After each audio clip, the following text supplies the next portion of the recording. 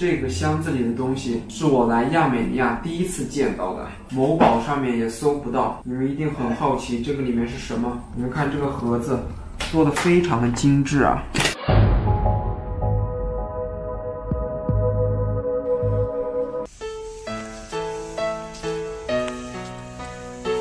现在打算去邮局啊，把这个箱子寄到俄罗斯去，走吧。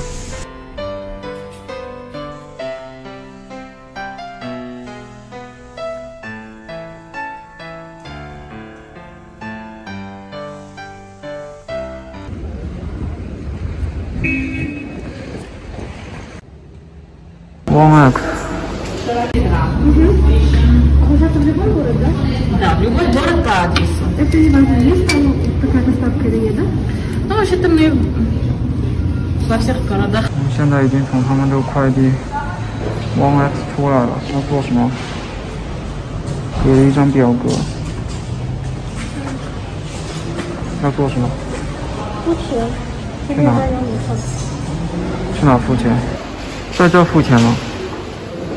付钱。我们刚刚从那个快递公司出来了，那个箱子一共差不多六公斤。他们说寄到寄到俄罗斯要多长时间？从亚美尼亚到莫斯科四五天，四五天就到了。还有从莫斯科到我的城市的，他说大概三四天。一个星期之内就能送到啊。然后他们这个快递公司只能寄到四个国家：美国、英国、俄罗斯还有中国。中国那个飞机是最贵的，然后轮船是最便宜的，海运是最便宜的。我们这个六公斤寄到俄罗斯，一共花了多少钱？一万七，一万七，就是先付五千德拉姆是给他们的钱，然后另外再加一公斤是两千德拉姆，所以我们这些一共算下来付了一万七千德拉姆，差不多两百三十人民币吧。你觉得挺好的，对吗？还好吧？对，还好吧。然后我们看的他们那个公司是叫 One X 互联网的快递公司啊，他们这个模式和我们中国之前普及的这个快递柜的模式差不多啊。有一个电脑，然后你把手机二维码放上去扫一下，那个柜门就会开。因为我们之前一直在为这个箱子担心怎么怎么运到怎么带回俄罗斯呢？太重了。对，然后它那个尺寸，有很多别的东西没有带的。嗯哼。然后它那个尺寸也特别长，放不下，我们的行李箱放不下。我们之前看了好几个行李箱，要买那种最大的，二十八寸还是三十寸的那种。所以我们最后想了想，还是快递吧，快递比较方便。对，比较方便的，不要想怎么包的。这个行李真的特别大，太大了。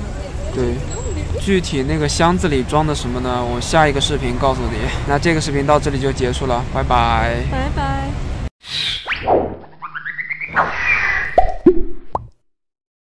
这个住院的医院进去特别啊，妈妈在哪？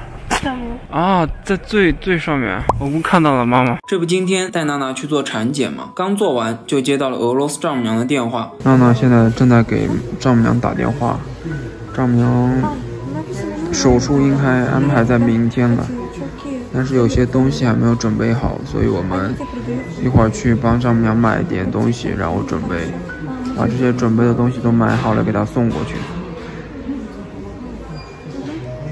丈母娘这个手术安排的确实挺快的，今天住院，明天就排到手术了。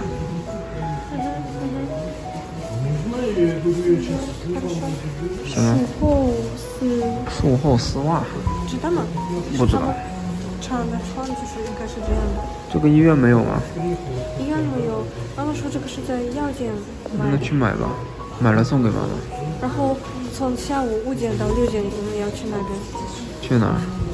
他的一员。送东西给他。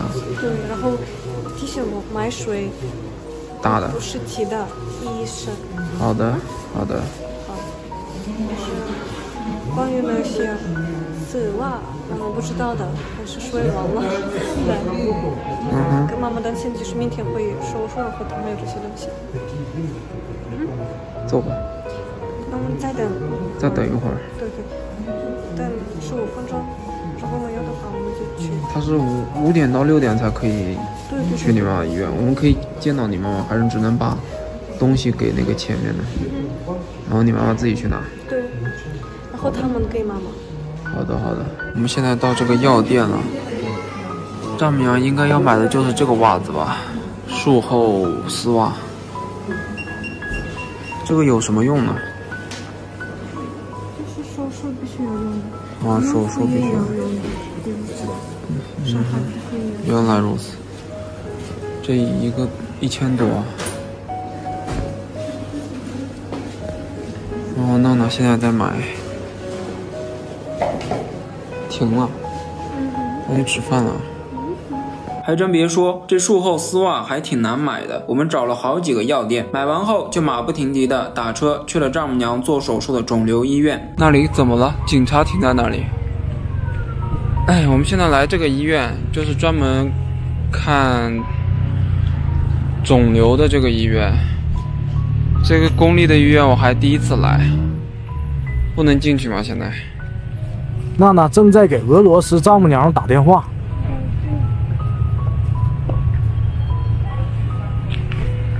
可以进去。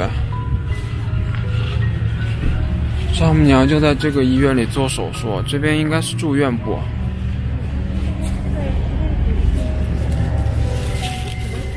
这个是娜娜写的，要给丈母娘，因为我们不可以进去。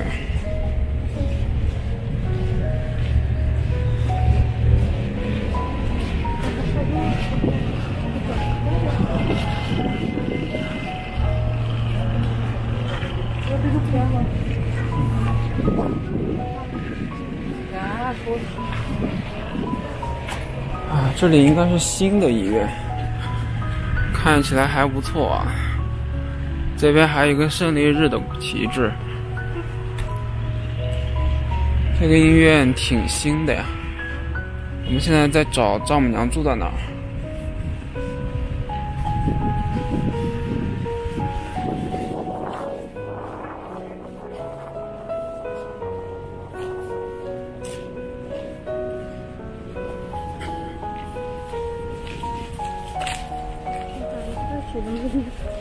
这里面好大呀，看来是新建了，没多长时间。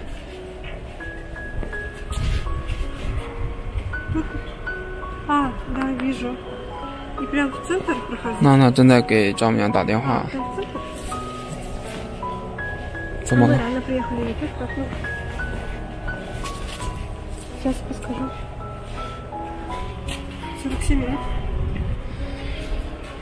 唉，我们准备了。那个袜子还有一瓶水，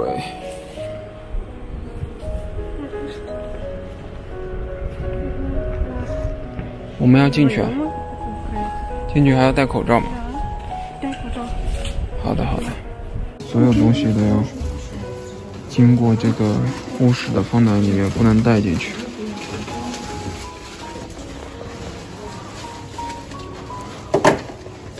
所有的东西都要登记，我们现在进不去，只能把这些东西放在这里，然后登记一下就好了。啊，真的吗？我们刚刚从这个医院出来了，没有办法，真的进不去。这个住院的医院进去特别……啊，妈妈在哪？在哪？啊，在最最上面。我们看到了妈妈，妈妈明天要做手术了，没事吧？他给你打电话了。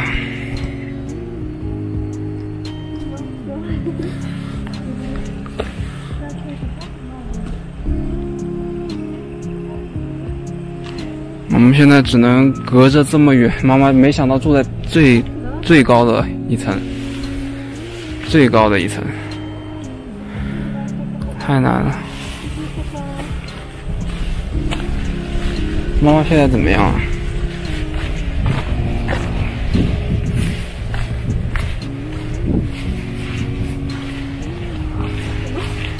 啊，妈妈现在状态怎么样？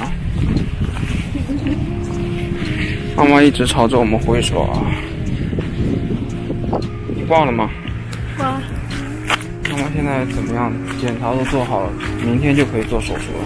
对，那次医生还没来，没有说什么时候做手术。那妈妈今天别担心什么，放松一下。对。然后你也别担心，肯定都会好的。肯定的。嗯哼。丈母娘这次手术安排的还是挺快的。嗯哼。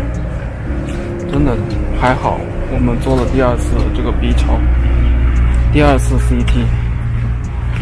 对对。终于。然后他有些的做住医院的时候。嗯哼。你知道这些？他。住院了，然后就再给他们做。我说为什么提前要做？如果在这里也做，有的都可以做。对呀。这个很难做的，你记得吗？B 超。又做了一次啊？对，在这里又做了一次。他们还不确定。对。还没有确确定要不要开刀，还要再做一次。对呀。嗯。没事的，明天就可以知道结果。嗯。我们先看吧。打车打车的。打车。你现在怎么走路？你在开玩笑吗？发生了什么呢？这个。我们刚才来的时候，有一辆警车冲上去了，不知道发生了啥。他不是在修路吗？还是什么？然后我们现在要去娜娜的医院，帮他们拿那个东西，帮他拿一下检查结果。明天还要去那个孕妇的医院做一下复诊。打车吧，你现在走不了路啊，少走路，乱七八。哇，一万八。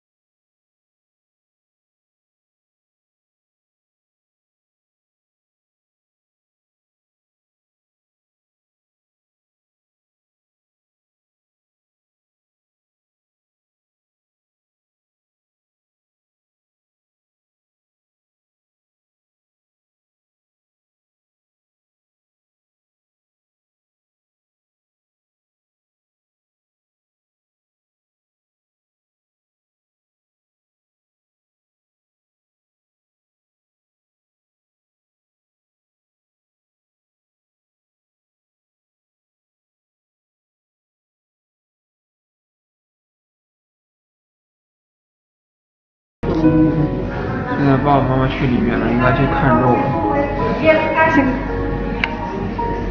他们去看看体重。他们去。干嘛？我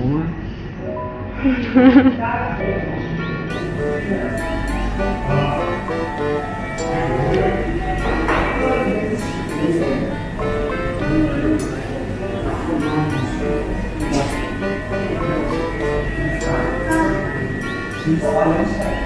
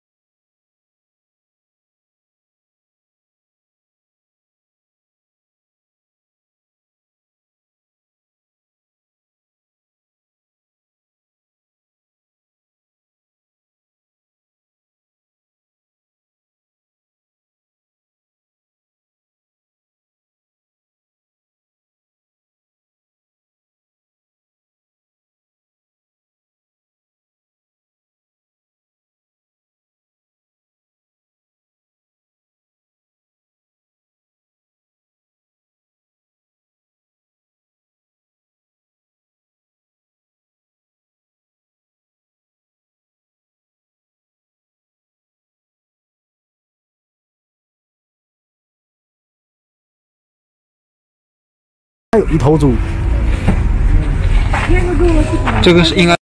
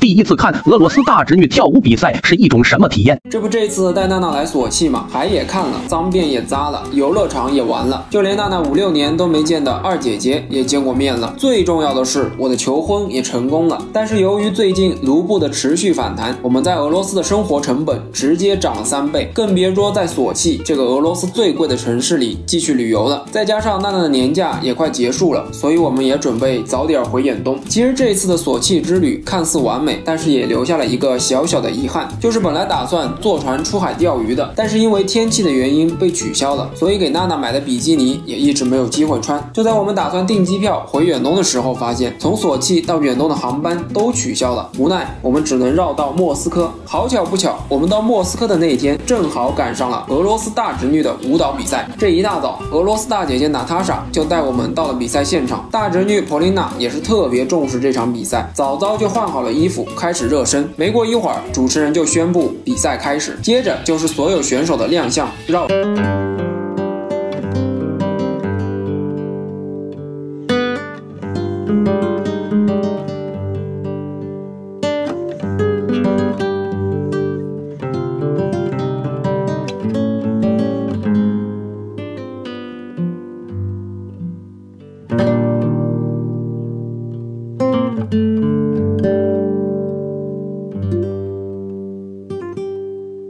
大侄女的号码比较靠后吧，还需要在场外再等一会儿。可以看出后场的时候，大侄女多少还是显得有些紧张的。但是到了比赛场上，状态就完全不一样了。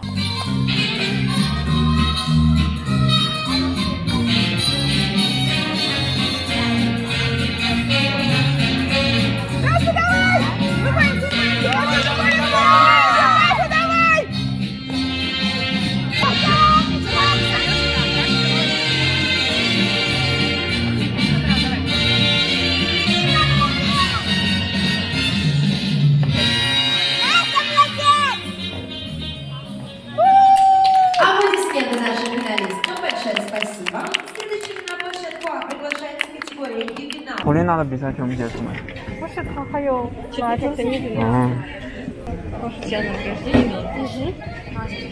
Итак, Катя Шова, Шова соседка. Итак, мы с вами готовы и начинаем с танца «Передавайся». Второй стороны выступали Полякова Милению, Москва, Анна Регулова, Анна Елена Теленникова. И побеждает Василиса Виноградова, третья.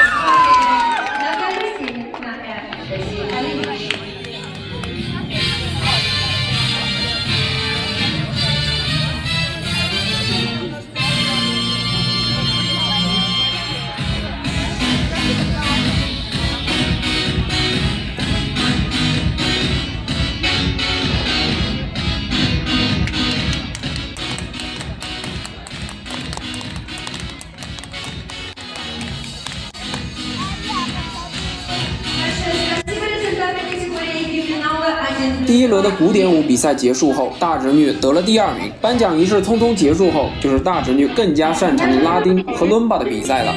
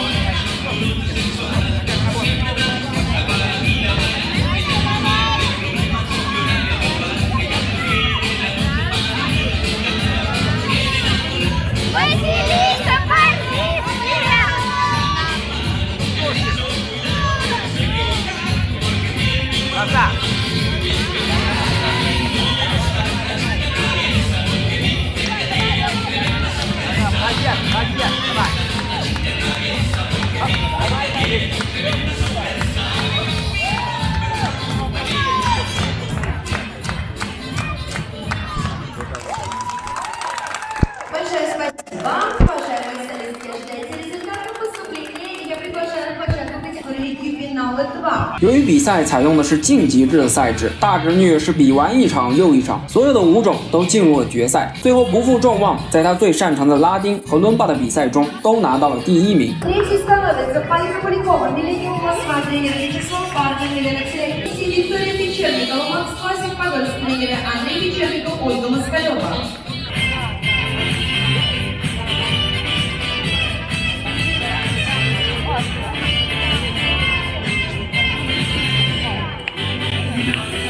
大侄女的比赛结束后，就是少儿组的比赛。看着这些五六岁孩子认真的神情，也不难理解俄罗斯为何能成为艺术大国，在艺术体操和花样滑冰等领域培育出了这么多世界冠军。最后，祝愿俄罗斯大侄女的舞蹈之路越走越好，越走越远。你一个人回中国了，我和宝宝怎么办呢？这不前两天还沉浸在要当爸爸的喜悦中的吗？没想到这一觉醒来就收到了一个坏消息，俄罗斯发布了最新的规定，要求凡是滞留在俄罗斯、签证过期的外国公民，必须在八月十七号之前离境。这个消息对于现在的我们来说，无异于晴天霹雳。且不说娜娜已经怀孕了，再加上俄罗斯老丈母娘马上就要住院进行肺癌切除手术，如果我真的现在离开了俄罗斯，他们该怎么办呢？就在我们焦头烂额、一筹莫展的时候，还是俄罗斯丈母娘淡定，让我们先去当地的移民局问问。我们现在又来到这个移民局啊，问一下这个居留许可证是怎么办的？这个里面都是中亚人在这边办这个落地签啥的。我们要等娜娜的妈妈来那个房产证然后登记一下。真的是服了这个俄罗斯的办事效率了，排了那么多人，那么多窗口就开了一个。终于点了这个排号机开了，然后这边好多人都在这里呗。他们终于拿到这个号了，用了一个小时，然后他们这边在这里排号。人特别多。这再三询问了移民局的工作人员后，得知我的居留许可现在还可以续，但是正如刚刚发布的最新规定，只能续到八月十七号了。也就是说，八月十七号之前，我是铁定得离开俄罗斯了。但万万没想到的是，这一波未平，一波又起。就在丈母娘填好所有的文件后，从窗口后面走出来一个肩章三颗星的哥们儿，把我们都叫了进去。这通过好几道铁门，终于到了他的办公室。在了解了一些我的情况。后，这个哥们儿竟然用中文对我说：“如果想要继续在俄罗斯生活，必须学会俄语。”说完，我直接就愣住了。好在娜娜急中生智。告诉他，我们已经在中国领证结婚了。这哥们儿听到后也就没有再多问什么。不过由此也可以看出，俄罗斯男人对于国女外嫁这件事的包容度还是比较小的。最后，因为我的落地签过期了，没有及时续上，罚款了两千卢布，就让我们走了。但是因为我登记的住址是俄罗斯老丈母娘家，所以这个罚款还得丈母娘帮我交。我们终于从这个移民局出来，喜提一张罚款，两千卢布的罚款。然后这边还不能，就是交现金什么的，还要到指定的银行去交这个罚款，两千。你知道？最低的、最高的是四千，他们跟那个最高的位置商量好，然后他给了我们最低的。哦。你知道？你知道我在莫斯科机场罚了多少钱？多少钱呢？一个人罚了一千五百。人民币啊，交在这个银行里面交罚款。丈母娘帮我做的这个居住证啊，所以要用她的银行卡付这个罚款，好尴尬。那个自动的 ATM 机不知道为什么还交不了罚款，我们只能到这个人工柜台来了。今天一天太麻烦这个丈母娘了，丈母娘现在又一个人去帮我交罚款。这一天呢特别累啊，丈母娘今天一天都跟着我们跑。这交完罚款，晚上回家后，我们又看了很多消息。现在有一种说法是，可以到第三方国家亚美尼亚办新的俄罗斯签证。但是娜娜现在怀孕了，不可能像去年一样陪我坐十几个小时的飞机去亚美尼亚。再加上现在周围的局势还不太稳定，要是我被滞留在亚美尼亚了，没有签证回俄罗斯，娜娜该怎么办？我们的宝宝该怎么办呢？这不前两天还在视频里面嘚瑟，在俄罗斯身价一夜暴涨了一倍嘛？没想到这不到两个月就遭到了生活的一顿毒打。事情是这样的，俄乌冲冲突刚爆发那会儿，俄罗斯卢布一路暴跌，最低的时候对人民币的汇率一度达到一比二十四。就在所有人都认为俄罗斯的经济即将崩溃的时候，俄罗斯民众再次向世人展现了强大的凝聚力，纷纷去银行存钱，上演了一场卢布保卫战。再加上卢布结算令的生效，很快。就实现了大反转。两个月内，卢布不仅收复了之前所有的跌幅，还创了历史新高，成为全球表现最佳的货币。但是这也苦了像我这样被困在俄罗斯的中国人了。现在一块钱人民币只能换八个卢布了，相当于生活成本直接涨了三倍。更要命的是，当初因为卢布贬值上涨的物价，并没有因为卢布的反弹而下调。再加上最近我又带着娜娜来索契看海，正好带你们看看一百块钱人民币在俄罗斯最贵城市的超市。还能买点啥？现在一百块钱人民币只能换八百卢布了。要知道巅峰的时候可以换两千四百卢布。该说不说，由于地理环境的原因，索契这这边蔬菜水果的种类比远东多了不少，而且看起来更加新鲜。黄瓜九块钱一斤，一百块钱可以买十一斤；胡萝卜四块钱一斤，可以买二十五斤；西红柿七块五一斤，可以买十三斤；葡萄十四块钱一斤，可以买七斤；梨子十块钱一斤，可以买十斤；猕猴桃十九块钱一斤，可以买五斤；草莓三十八块钱一斤，可以买两斤半；车厘子六十块钱一斤，可以买一斤半。怎么吃吗？里面？还是你不喜欢这样的？哇，不喜欢。为什么？为什么你侄子可以生吃这些？挺好吃的，嗯，就是生吃的。肉在肉在上面。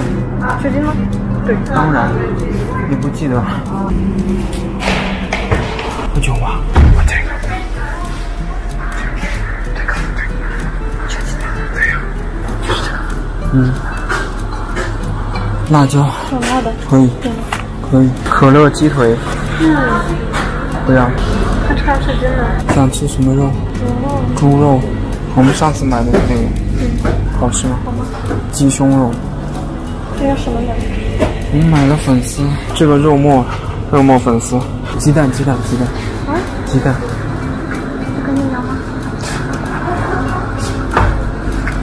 可以找到更好的地方吗？确定。那在这儿买，还是这个水果的？